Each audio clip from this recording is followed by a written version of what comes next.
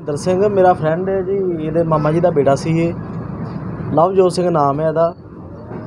ਚਲੋ ਮਾੜੀ ਸੰਗਤ ਪਿਆ ਸੀ ਜੀ ਬਾਕੀ ਇਹ ਵੀ ਸਾਰਾ ਪਤਾ ਹੀ ਹੈ ਪਹਿਲੀਆਂ ਸਰਕਾਰਾਂ 'ਚ ਇਹੋ ਹਾਲਾਤ ਰਹੇ ਨੇ ਨਸ਼ੇ ਦੇ। ਹੁਣ ਵੀ ਇਦਾਂ ਹੀ ਚੱਲਦਾ ਆ ਰਿਹਾ ਜੀ, ਹੁਣ ਔਖਾ ਤਾਂ ਮਾਂ ਬਾਪ ਵਾਸਤੇ ਤੇ ਸਰਕਾਰਾਂ ਨੂੰ ਚਾਹੀਦਾ ਵੀ ਕੁਝ ਇਹਦੇ ਬਾਰੇ ਸੋਚਣ। ਜਿਵੇਂ ਹੋਰ ਮੁੱਦਿਆਂ ਤੇ ਇਹਨਾਂ ਸਕੰਜਾ ਕੱਸਿਆ ਜਾ ਸਕਦਾ, ਜਿਵੇਂ ਅੰਮ੍ਰਿਤਪਾਲ ਅੰਮ੍ਰਿਤਪਾਲ ਬਾਰੇ ਜਿਹੜਾ ਸਕੰਜਾ ਇਹਨਾਂ ਕੱਸਿਆ ਜਾ ਸਕਦਾ, ਨਸ਼ਿਆਂ ਦੇ ਖਿਲਾਫ ਕਿਉਂ ਨਹੀਂ ਕੱਸਿਆ ਜਾ ਰਿਹਾ? ਇਹ ਸਰਕਾਰਾਂ ਨੂੰ ਹੱਥ ਜੋੜ ਕੇ ਬੇਨਤੀ ਹੈ ਜੀ ਨਸ਼ਿਆਂ ਦੇ ਖਿਲਾਫ ਜੋ ਵੀ ਬਣਦੀ ਕਾਰਵਾਈ ਹੈ ਕੀਤੀ ਜਾਵੇ। ਮਸਲਾ ਹੈ। ਮਸਲਾ ਮੈਂ ਕੇਵਲ ਸਿੰਘ ਪਿੰਡ ਘਮਾਨ ਤੋਂ ਜੀ। ਮੇਰਾ ਬੇਟਾ ਹੀ ਨਸ਼ੇ ਦਾ ਆਦੀ ਸੀ। ਅੱਜ ਵੇਖੋ ਜੀ ਜੁੜ ਗਿਆ ਮੇਰਾ ਘਰ ਹੀ ਜੁੜ ਗਿਆ ਵਾ। ਸਰਕਾਰਾਂ ਨੂੰ ਬੜੀ ਬੇਨਤੀ ਕੀਤੀ ਐਮਐਲਏ ਸਾਹਿਬ ਦੇ ਗਲੀ ਵੀ ਹੱਥ ਪੱਲਾ ਜੋੜਿਆ ਸੀ ਪਰ ਕੋਈ ਕਾਰਵਾਈ ਨਹੀਂ ਇਹਨਾਂ ਕੀਤੀ ਨਾ ਕੋਈ ਉਥੇ ਇਹਨਾਂ ਲਾਇਆ ਕੋਈ ਰੋਗ ਹੀ ਲਾਈ ਇੱਥੇ। ਕੀ ਨਾਂ ਹੈ ਉਹਦਾ ਕਿੰਨੀ ਉਮਰ ਉਮਰ ਮੇਰਾ ਨਵਜੋਤ ਸਿੰਘ ਉਮਰ 22 ਸਾਲ ਜੀ। ਤੁਹਾਨੂੰ ਕਿੱਦਾਂ ਪਤਾ ਲੱਗਾ ਪਤਾ ਇੱਥੋਂ ਮੈਸੇਜ ਹੀ ਗਿਆ ਜੀ। ਇੱਥੋਂ ਜਿਹਨਾਂ ਕ- ਫੋਟੋਆਂ ਪਾਈਆਂ ਸੀਗੀਆਂ ਜੀ। ਫੋਟੋਆਂ ਤੋਂ ਫਿਰ ਤਾਲਮੇਲ ਹੋਇਆ ਜੀ। ਕਿੱਥੇ ਡੈਡ ਬੋਡੀ ਡੈੱਡ ਬੋਡੀ ਤੇ ਇੱਥੇ ਕਹਿੰਦੇ ਜਾਂ ਆਪਣਾ ਸ- ਸਿਵਲ ਹਸਪਤਾਲ 'ਚ।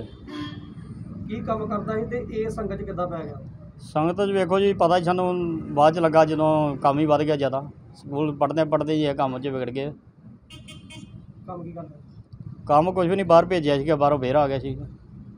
ਕਿੰਨੇ ਬੱਚੇ ਤੁਹਾਡੇ? ਬੱਚੇ ਦੋ ਆ ਜੀ ਇੱਕ ਗੁੱਡੀ ਤੇ ਇੱਕ ਕਾਕਾ ਸੀ। ਕੱਕ ਗੱਲਾਂ ਹੀ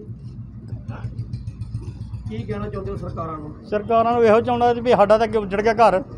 ਹੋਰਨਾਂ ਦੇ ਬਚਾ ਲਓ। ਸਾਡੀ ਤੇ ਇਹੋ ਬੇਨਤੀ ਆ ਪਰ ਨਹੀਂ ਸੁਣਦੀ ਸਰਕਾਰ ਕੋਈ ਨਹੀਂ ਸੁਣਦੀ ਸਰਕਾਰਾਂ ਆਪ ਵਕਾਉਣ ਡਈਆਂ ਜੀ।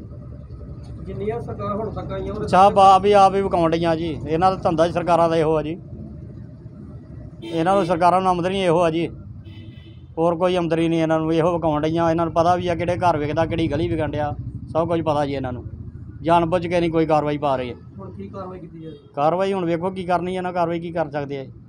ਇਹ। ਸਰ ਅਨਨੋਨ ਡੈੱਡ ਬੋਡੀ ਹੈਗੀ ਕੱਲ ਐਫਰਟ ਕਰਕੇ ਇਹਦੇ ਪਰਿਵਾਰਕ ਮੈਂਬਰਾਂ ਤੱਕ ਪਹੁੰਚ ਹੋਈ ਸਾਡੀ ਪਛਾਣ ਹੋ ਗਈ ਆ।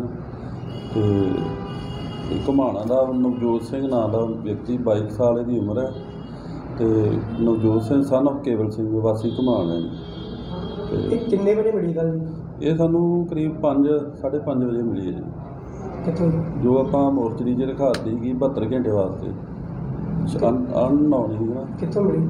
ਇਹ ਮਿਲੀ ਸੀਗੀ ਪੁਲਿਸ ਲਾਈਨ ਰੋਡ ਪੀਰ ਬਾਬਾ ਦੀ ਮਜ਼ਾਰ ਦੀ ਜਗ੍ਹਾ ਤੇ। ਮਿਲੀ ਕੀ ਤੱਥ ਸਾਹਮਣੇ ਆਇਆ ਡਾਕਟਰ ਬੋਡੀ ਤੇ ਕੋਈ ਜ਼ਖਮ ਵਗੈਰਾ ਤੇ ਨਹੀਂ ਆ ਹੁਣ ਪਤਾ ਨਹੀਂ ਪੋਸਟਮਾਰਟਮ ਤੋਂ ਬਾਅਦ ਹੀ ਪਤਾ ਲੱਗੇਗਾ ਜੀ। ਪਰਿਵਾਰਕ ਮੈਂਬਰ ਕੀ ਕਹਿ ਰਹੇ ਪਰਿਵਾਰਕ ਮੈਂਬਰ ਇਹ ਕਹਿ ਰਿਹਾ ਜੀ ਵੀ ਆਇਆ ਸੀ ਦੱਸ ਕੇ ਵੀ ਮੈਂ ਬਟਾਲੇ ਚੱਲਿਆ ਤੇ ਸ਼ਾਮਾਂ ਨੂੰ ਆ ਜਾਣਾ। ਨਹੀਂ। ਮੈਂਬਰਾਂ ਦਾ ਕਹਿਣਾ ਕਿ ਨਸ਼ੇ ਨਾਲ ਮਰਿਆ ਨਹੀਂ ਜੀ ਇਹੋ ਜੀ ਗੱਲ ਅਜੇ ਤੱਕ ਕੋਈ ਸਾਹਮਣੇ ਨਹੀਂ ਆਈ ਬਟ ਫਿਰ ਵੀ ਜੋ ਡਾਕਟਰੀ ਰਿਪੋਰਟ ਚ ਆਏਗੀ ਉਹਦੇ ਮੁਤਾਬਕ।